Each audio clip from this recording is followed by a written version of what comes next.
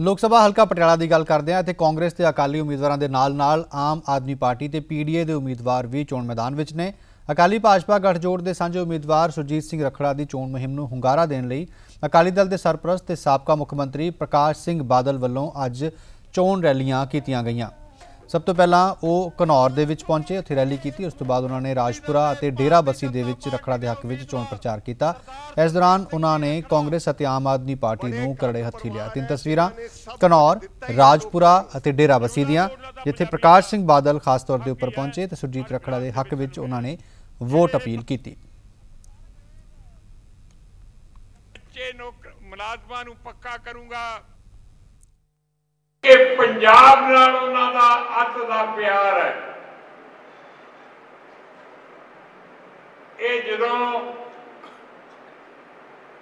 ਉਹ prime minister ਨਹੀਂ ਬਣੇ, ਸਨ ਉਦੋਂ ਬਹੁਤ ਪਹਿਲਾਂ ਦੀ ਗੱਲ ਹੈ। ਪੰਜਾਬ ਦੇ ਬੀਜੇਪੀ ਵੱਲੋਂ ਪ੍ਰਭਾਰੀ ਰਹੇ ਹੈ। ਇੱਕ ਇੱਕ ਸ਼ਹਿਰ, ਇੱਕ ਇੱਕ ਪਿੰਡ ਵਿੱਚ ਉਹਨਾਂ ਨੂੰ ਜਾਣ ਦਾ ਮੌਕਾ ਮਿਲਿਆ।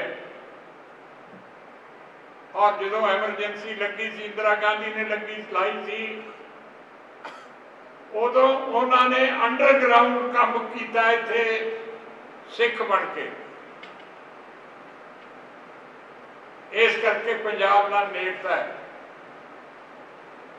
ਔਰ ਉਹਨਾਂ ਨੇ ਆਪਣੀ ਸਰਕਾਰ ਦੇ ਸਮੇਂ ਵਿੱਚ ਪੰਜਾਬ ਨੂੰ ਜੋ ਕੁਝ ਅਸੀਂ ਕਿਹਾ ਉਹ ਦਿੱਤਾ ਹੈ।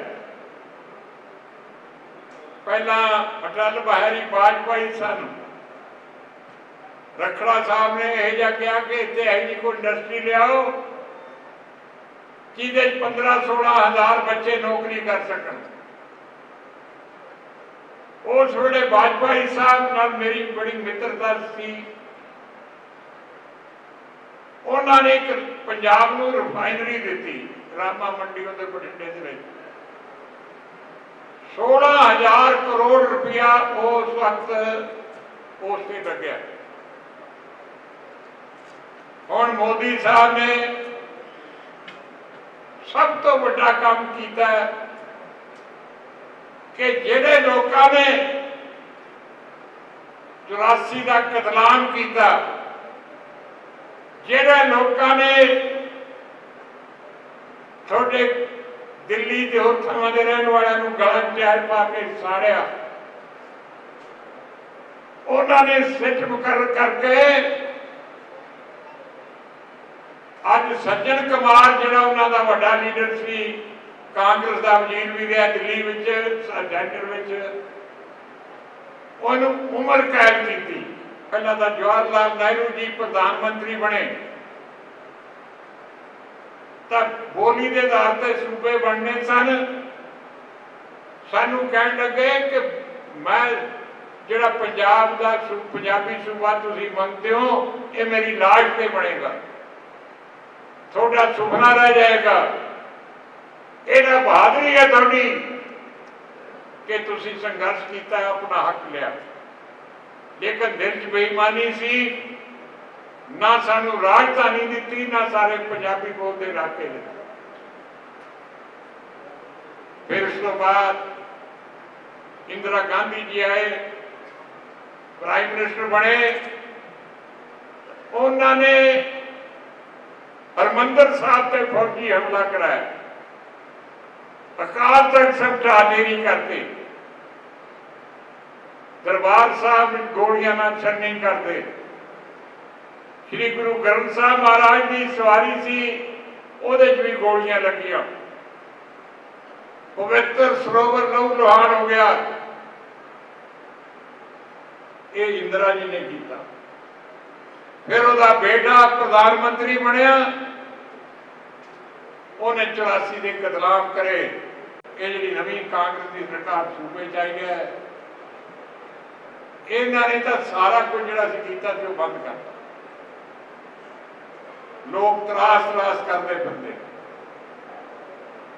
ਵੀਰੋ, ਮੈਂ ਇੰਨਾ ਮੈਨੂੰ ਦੁੱਖ ਹੋਇਆ ਜਿਹੜਾ ਇੱਥੇ ਗਰੇਵਾਲ ਸਾਹਿਬ ਨੇ ਜਾਂ ਹੋਰ ਬੁਲਾਰਿਆਂ ਨੇ ਇੱਥੇ ਜ਼ੁਲਮ ਤੇ ਜ਼ਬਰ ਕਰ ਰਹੇ ਹਨ। ਬੇਗੁਨਾਹ ਲੋਕਾਂ ਨੂੰ ਤਸ਼ੱਦਦ ਤੇ ਝੂਠੇ ਮੁਕੱਦਮੇ ਬਣਾ ਰਹੇ ਹਨ। ਤੁਹਾਡਾ ਐਮਐਲਏ ਮੈਂ ਜਾਣਦਾ ਹਾਂ ਇਹ ਜਾਂ। ਡਿਵੈਲਪਮੈਂਟ ਦਾ ਤਾਂ ਕੰਮ ਉਹਨਾਂ ਨੇ ਕਰਨੇ ਪਰ ਮੈਂ ਇੱਕ ਗੱਲ ਕਹਿਣਾ ਤੁਸੀਂ ਖੁਸ਼ਕਿਸਮਤ ਕਿ ਗਰੇਵਾਲ ਸਾਹਿਬ ਵਰਗਾ ਤੁਹਾਨੂੰ ਲੀਡਰ ਆਪਣੇ ਹਲਕੇ 'ਚ ਮਿਲਿਆ ਹੈ। ਇਹ ਹੁਣੇ ਜੋੜੀ ਬਣਾ ਦਿਓ ਨਾਲ ਸਰਜੀਤ ਸਿੰਘ ਰੱਖੜਾ ਨੂੰ ਕਰ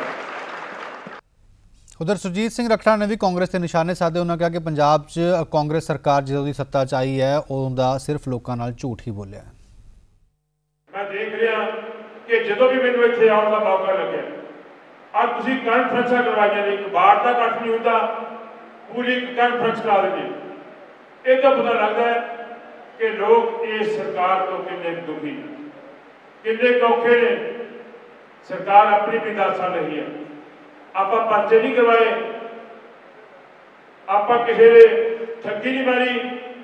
ਕੋਈ ਕਬਜ਼ਾ ਨਹੀਂ ਕੀਤਾ। ਨੌ ਹਲਕਿਆਂ ਦਾ ਤਾਂ ਮੈਂ ਗਵਾਹ ਕਿ ਹਰ ਹਲਕੇ ਦਾ ਇੰਚਾਰਜ ਹੈ ਜਾਂ ਐਮਐਲਏ ਹੈ। ਉਹ ਕਹਿੰਦਾ ਮੈਂ ਬੜੀ ਠੱਗੀ ਮਾਰਨੀ ਹੈ। ਦੂਜਾ ਕਹਿੰਦਾ ਮੈਂ ਜ਼ਿਆਦਾ ਠੱਗੀ ਮਾਰਨੀ ਹੈ। ਮੇਰਾ ਖਿਆਲ ਹੈ ਵੀ ਕਰਕਾਰ ਹੋਣਾ ਇਸ ਠੱਗੀ ਦਾ। ਕੋਈ ਬਦਲੀ ਬਿਨਾ ਪੈਸੇ ਤੋਂ ਨਹੀਂ। ਕੋਈ ਕੰਮ ਬਿਨਾ ਪੈਸੇ ਤੋਂ ਨਹੀਂ। ਤੇ ਸਭ ਤੋਂ ਵੱਡੀ ਗੱਲ, ਜਾਂ ਸਰੋਪਾ ਪਵਾ ਲਓ, ਜਾਂ ਫਿਰ ਪਰਚਾ ਕਰਵਾ ਲਓ। ਮੇਰਾ ਖਿਆਲ ਹੈ ਵੀ ਇਹ ਸਰਕਾਰ ਆ ਸਾਡੇ ਭਰਾ ਹੀ ਖੜੇ ਨੇ। ਇਹਨਾਂ ਦੇ ਸਿਰ ਤੇ ਚਲਾ ਰਹੇ ਨੇ। ਅੱਜ ਪੰਜਾਬ ਪੁਲਿਸ ਦੇ ਸਿਰ ਦੇ ਉੱਤੇ ਰਾਜ ਕਰ ਰਹੇ ਨੇ। ਮੇਰਾ ਖਿਆਲ ਹੈ ਵੀ ਇਹਨਾਂ ਗੁਆਂਢੀ ਰੂਲ ਦੇ ਵਿੱਚ ਵੀ ਜੁਰਮ ਨਹੀਂ ਹੋਇਆ ਹੋਣਾ। ਜਿੰਨਾ ਅੱਜ ਇੱਥੇ ਜੁਰਮ ਹੋ। ਰਿਹਾ ਜੇ ਤੁਸੀਂ ਹਿੰਮਤ ਕਰੋਗੇ, ਦਿਨ 10 ਰਹਿੰਦੇ ਨੇ। 23 ਤਰੀਕ ਨੂੰ ਤੁਸੀਂ ਦੇਖੋਗੇ ਕਿ ਸਰਕਾਰ ਬਦਲ ਜੂਗੀ। ਇਹਨਾਂ 'ਚ ਹਿੰਮਤ ਨਹੀਂ ਹੋਣੀ ਇਹਦੀ ਕਿ ਜੋ ਅੱਜ ਕੰਮ ਕਰ ਰਹੇ ਨੇ, ਇਹ ਦੁਬਾਰੇ ਕਰ ਲੈਣ